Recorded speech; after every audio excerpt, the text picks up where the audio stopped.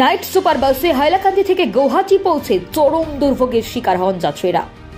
হাইলাকান্দি থেকে গৌহাটিগামী night super বাসের প্রস্থানের সময় পুনর্নির্ধারণ করতে হাইলাকান্দি জেলা শাসকের হস্তক্ষেপ চাইলেন রেলযাত্রী অধিকার সুরক্ষা সমিতির সভাপতি শামসুল হক বরভুইয়া।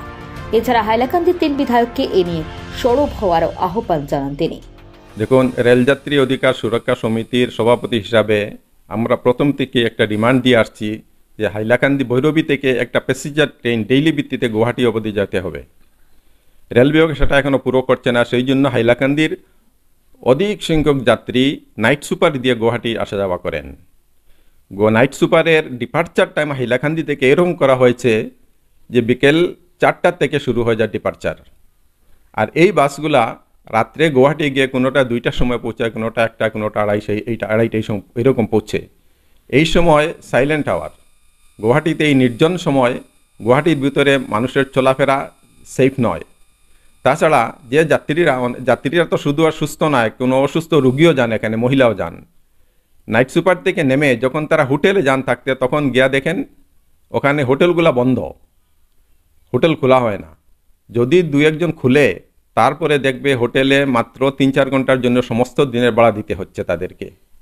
এই যে কষ্ট হচ্ছে একমাত্র নাইট সুপারের ডিপার্চার টাইমের কারণে। আমি হাইলাকান্দি জেলা উপায়ুক্তের দৃষ্টি আকর্ষণ আকর্ষণ করছি এই ব্যাপারে।